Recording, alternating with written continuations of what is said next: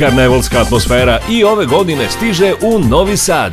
Na ulicama i trgovima nastupit će najbolji muzičari, akrobate, plesači, žongleri i klovnovi sa svih strana sveta. Ne propustite deveti internacionalni festival uličnih svirača od 8. do 12. septembra.